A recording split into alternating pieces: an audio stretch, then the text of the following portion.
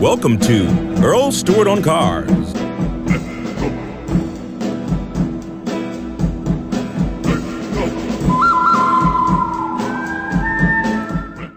The model cycle varies from manufacturer to manufacturer. It can be th- three years, four years, or it can be longer.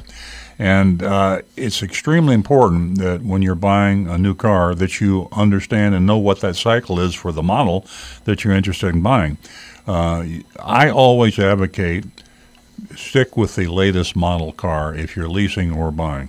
Now, I know there's an argument to be made for buying the old style particularly when the new style is just coming out and there's maybe rebates and sales being run for the old model.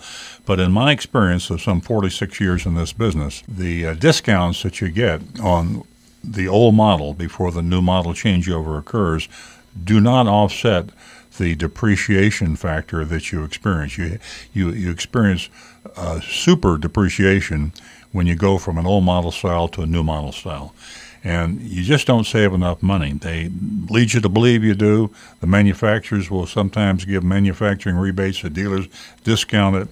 But I'm, in my experience, you, you you're better off to pay a little higher price for the new model, and that's not to say that you want to buy the new model this first day it hits the showrooms, because when the new models come out, the dealers will mark them up. They use the phony Monroney. They mark them up with addendum labels.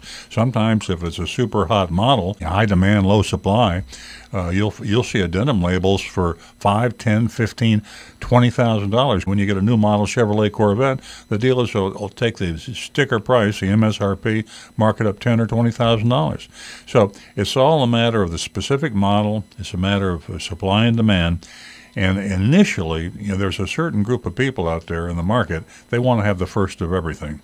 They're standing in line and they're willing to pay the price. So they watch the newspaper, they watch the television, they hear all the all the rumors, they get on the internet, when's that new model coming out?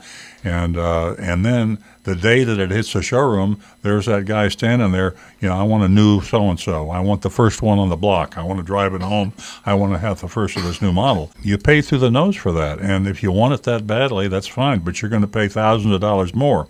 My advice is when a new model comes out, sit back and wait a little bit. You can come in, you can test drive it, you can look at it. Don't buy it, and certainly not during the first few days.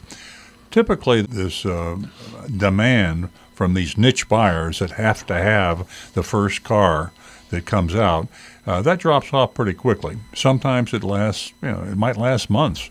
Usually it's uh, just a matter of weeks, and sometimes it's not even that. But be very careful.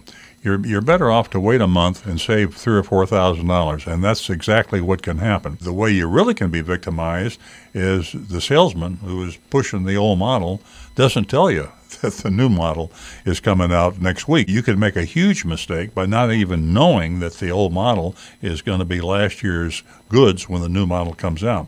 So uh, get on the internet. It's your best friend. Go to uh, all, you know, my favorite sites like Consumer Reports. Uh, go to Edmunds.com. Go to KelleyBlueBook.com and do your homework, do your due diligence. You, they'll tell you exactly when these new models are expected. In fact, sometimes they'll even have tested the model, and you'll know whether it's uh, something you want to consider buying or not. Then, when you know the model cycle, you're not going to make that fatal mistake by not even knowing the new model's coming out next week.